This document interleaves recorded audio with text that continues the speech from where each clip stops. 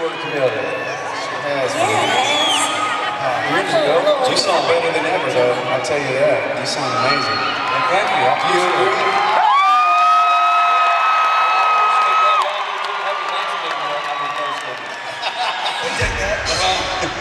Well, it's happy Valentine's Day, excuse me. Our kids said Merry Christmas earlier today, so we don't know what holiday it is. That's me too, bro.